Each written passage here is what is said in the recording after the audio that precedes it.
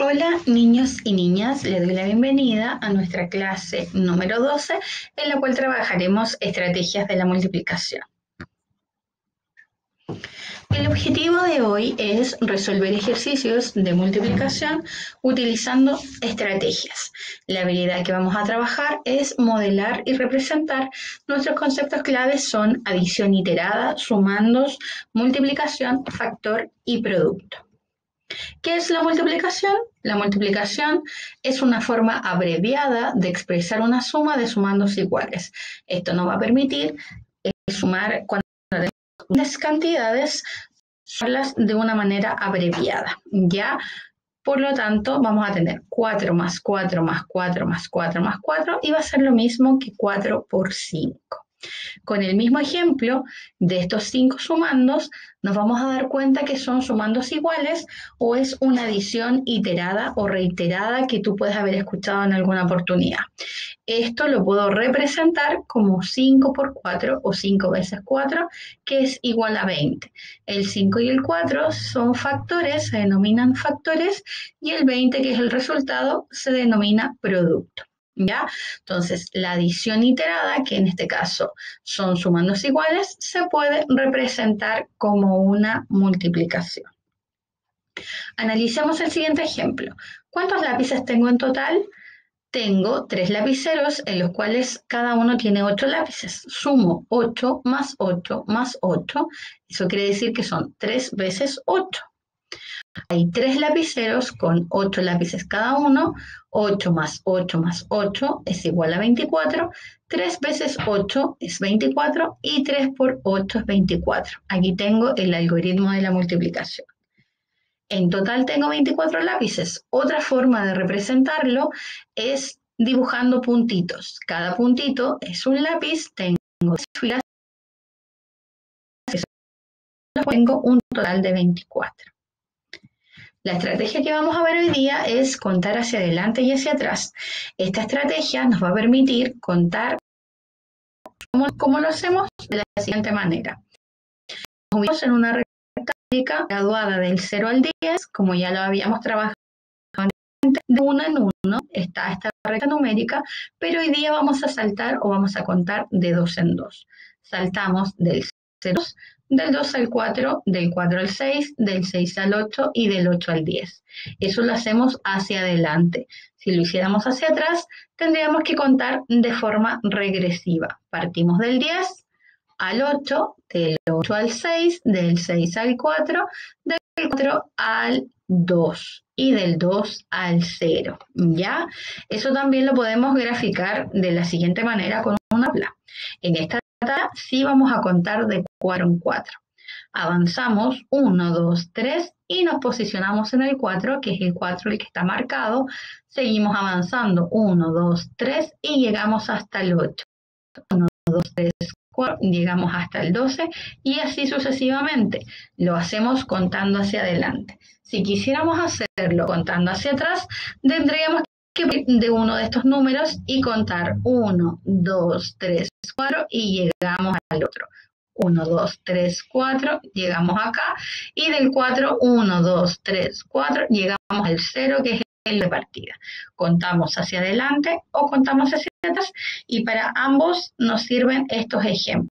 Como cuando nos subimos a un ascensor, nosotros vamos hacia arriba, vamos ascendiendo vamos subiendo, aumentando y si vamos hacia abajo, vamos disminuyendo, vamos descendiendo, ¿ya? En el siguiente ejercicio vamos a marcar con un ticket si la afirmación es correcta.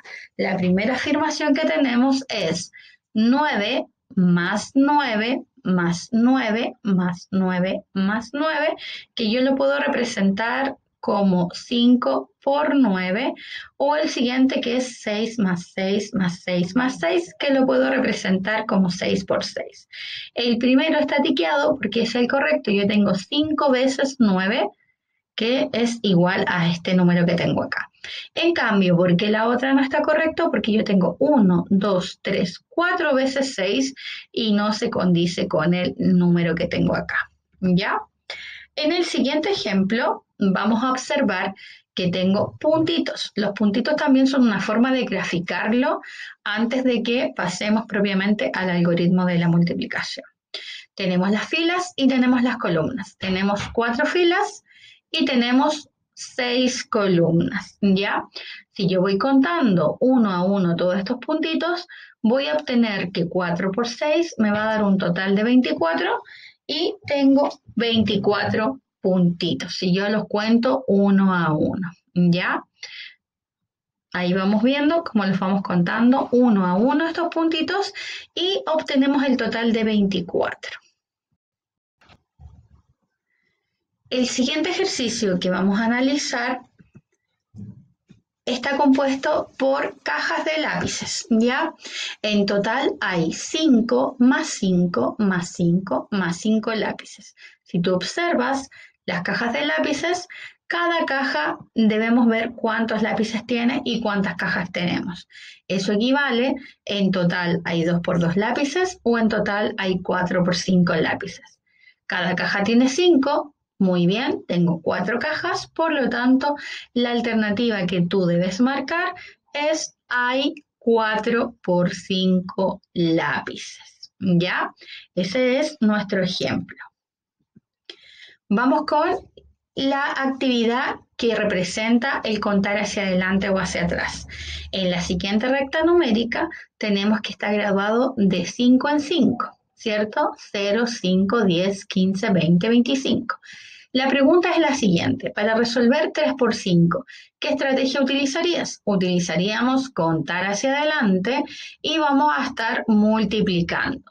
Si yo salto del 0 al 5, del 5 al 10 y del 10 al 15, estoy multiplicando 3 por 5 y me da un total de 15. ¿Cómo lo haríamos al revés? Si tenemos que repartir el todo, que es 15, en tres grupos o en tres saltos, vamos a tener que contar hacia atrás y vamos a tener que dividir. Del 15 al 10, del 10 al 5 y del 5 al 0, cada uno de estos tiene 5. Por lo tanto, 15 dividido en 3 sería 5. Ahora te toca a ti ejercitar en casa. Vamos a presentar los siguientes ejercicios y tú los vas a desarrollar en tu casita. Para resolver 10 por 2, ¿qué estrategia utilizarías? También tenemos la recta numérica. Vas a hacer los saltos de acuerdo a lo solicitado, si es contar hacia adelante o si es contar hacia atrás. Y en el caso de que si tuviéramos que repartir 20 en 2, ¿cómo lo haríamos? También vamos a usar la recta numérica en la cual tú vas a tener que hacer saltos y repartir el todo, que es 20, en 2. ¿Cuántas veces? Ahí vas a tener que descubrirlo. Los siguientes problemas tienes que, o ejercicios, tienes que hacerlo observando los dibujos que tenemos acá. Tenemos cajas de lápices, cada caja de lápices tiene cinco lápices. Debes explicar cómo los contaste y escribir una multiplicación que te permita calcular el total. Y en el segundo ejercicio, del todo que tenemos acá, todos estos lápices, tenemos que agruparlos en cajas de cuatro. ¿Cuántas cajas necesitas? Vas a tener que escribir la división que representa esa situación y vas a tener que explicar cómo se relaciona la división con el conteo hacia atrás. Tienes que argumentar tu respuesta en base a lo que hemos visto hoy día en esta clase. Para terminar, vamos a responder en conjunto, ¿qué es la multiplicación? La multiplicación es una suma iterada.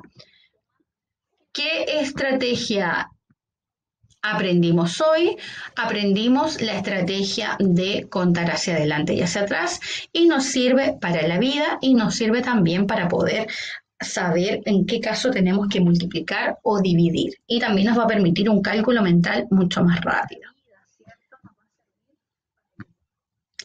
Recordemos los elementos de la multiplicación. Tenemos que los elementos de la multiplicación son, en este caso, en este ejemplo, el 8 y el 3 son factores, se llaman factor, y el resultado que tenemos de esa multiplicación, que es 24, le asignamos el nombre de producto. Y con esto nos despedimos el día de hoy. Nos vemos en la próxima clase. Espero que hayan aprendido y ejercitar en casa.